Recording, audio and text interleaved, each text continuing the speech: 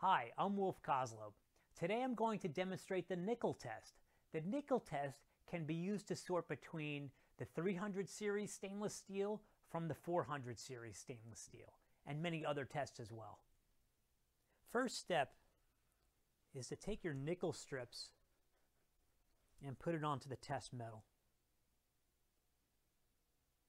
Let me zap it for one second.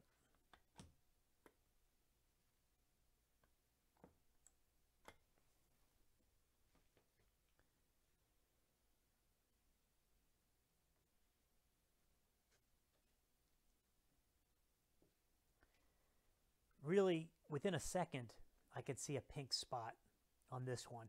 It's a pinkish red color. And this, not at all. It's a little bit brown. To take a closer look,